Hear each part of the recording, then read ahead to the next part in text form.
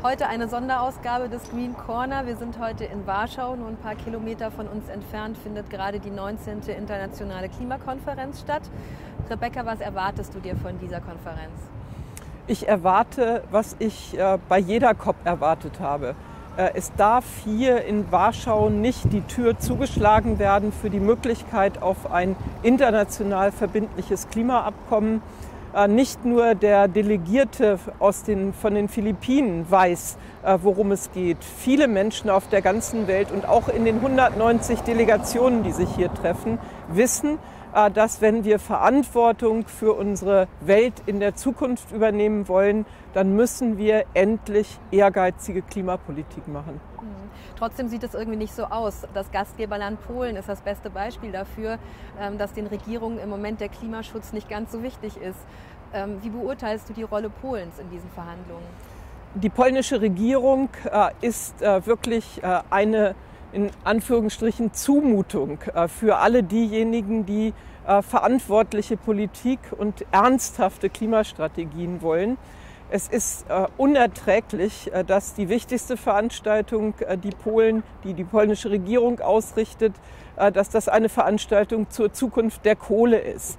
Es ist äh, nicht richtig, wenn das Gastgeberland der, der internationalen Klimakonferenz auf äh, der offiziellen Homepage äh, sich als klimaskeptischer Teilnehmer, Gastgeber dieser Konferenz outet.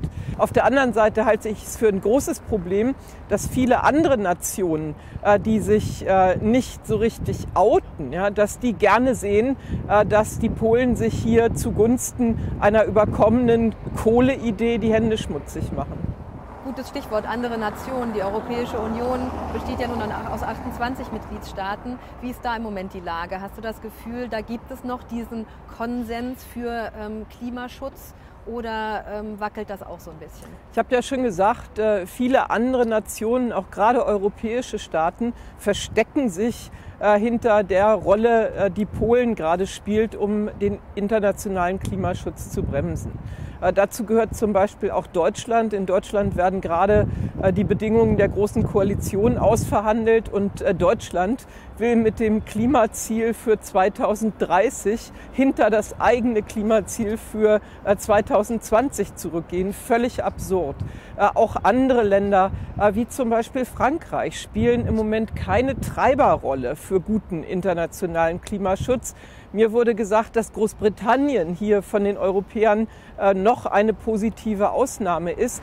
Aber das Wichtigste ist, dass von dieser Führungsrolle, äh, die die Europäer lange für sich beansprucht haben beim Klimaschutz, dass von dieser Führungsrolle nichts übrig geblieben ist. Und das muss sich von Warschau bis Paris unbedingt ändern. Die nächste Klimakonferenz findet 2015 in Paris statt. Spätestens dann brauchen wir verbindliche internationale Abkommen zum Klimaschutz.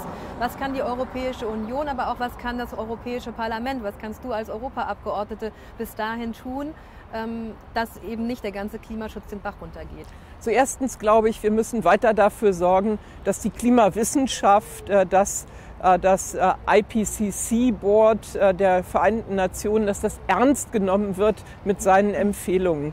Klimawandel ist menschengemacht und wir haben auf der anderen Seite auch Möglichkeiten, das zu begrenzen und tatsächlich die Erderwärmung bei zwei Grad zu stoppen.